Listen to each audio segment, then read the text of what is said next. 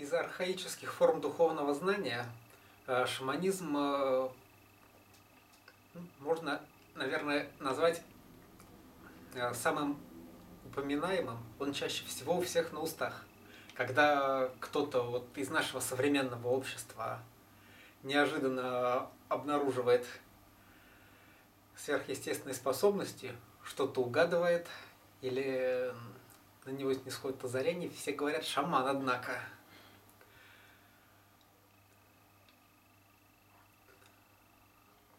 Говоря о шамане, чаще имеют в виду что-то другое. Жреца, там, почитателя культа предков, э, э, архаического медицинского работника. А между тем шаман – это вполне конкретная вещь. Шаман – это вполне конкретные техники работы с невидимым миром. Шаман – это вполне определенная картина мира, на которой эти техники основаны. Она, эта картина, не присуща одним шаманам и их последователям, она проникает во все уголки сознания древнего человека, она и его связь с предками, и его осознание себя во времени и пространстве – его осознание себя с другими живыми существами, все это она сочетает. Но шаман в этой картине занимает вполне особое место. Такого ревизора с, уполномо... с особыми полномочиями. Чем отличается шаман от всех остальных представителей архаической духовности? Шаман – это прежде всего путешественник. Где он путешествует? Он путешествует из мира обыденного в мир, открытый не всякому. То есть можно э, сказать, что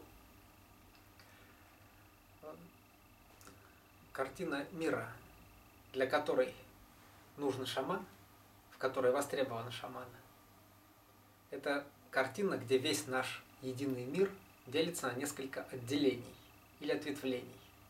Лучше всего эту картину передает такой образ, как мировое древо, у которого есть корни, у которого есть крона и у которого есть ствол. ствол.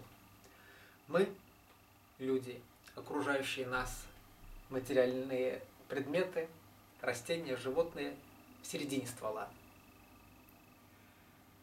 Некие животворящие силы, духи и предки на вершине, в кроне. Силы темные, непостижимые, во многом враждебные, но тем не менее необходимы для того, чтобы все зарождалось, развивалось и росло, они у корней. Шаман путешествует между ними.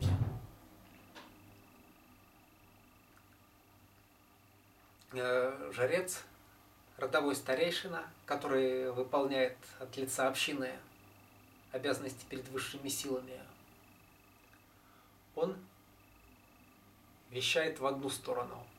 Он к ним обращается и в редких особо исключительных случаях получает ответ как-то опосредованно в виде знаков. Шаман общается с этими силами напрямую – Что отличает шамана, кроме путешествия? У шамана обязательно должна быть шаманская душа. Это та составляющая личности, которая как раз и помогает ему преодолевать эти грани между мирами, которые для обычного человека непреодолимые. Шаман действует на наших глазах, он зовет духов, он описывает свое путешествие, он одновременно и стоит перед нами, он одновременно и карабкается по тому, по самому мировому древу. Это как раз ему и помогает видеть шаманская душа, которая там по одним воззрениям вдыхается в него при самом рождении от таких же продвинутых шаманских предков.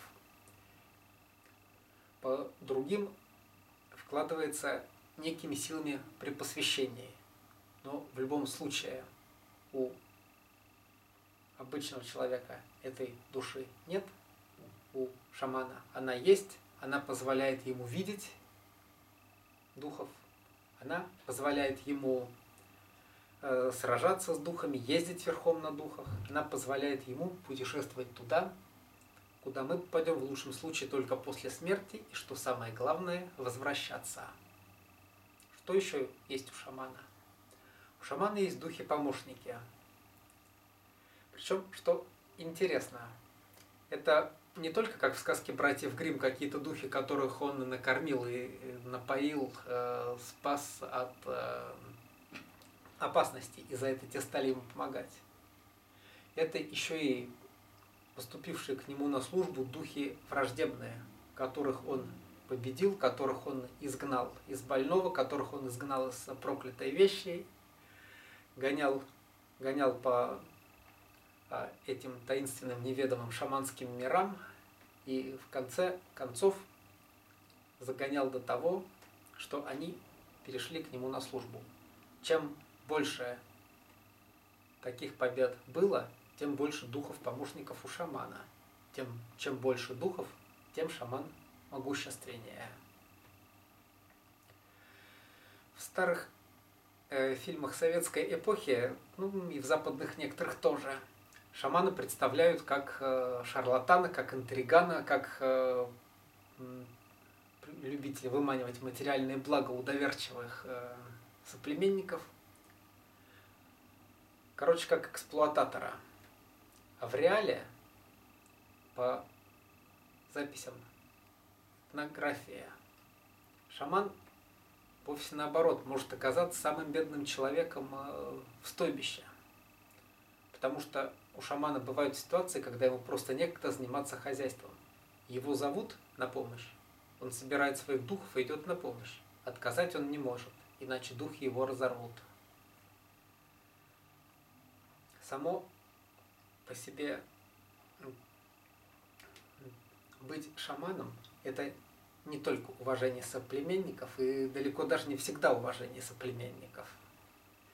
Это еще и очень тяжкие и обременительные обязанности. Духов кормить, духом давать работу, духом сооружать жилище, о духах заботиться. Тяжела и неказиста жизнь рядового шамана, и завидовать тут, проще говоря, нечему. Спасибо за внимание.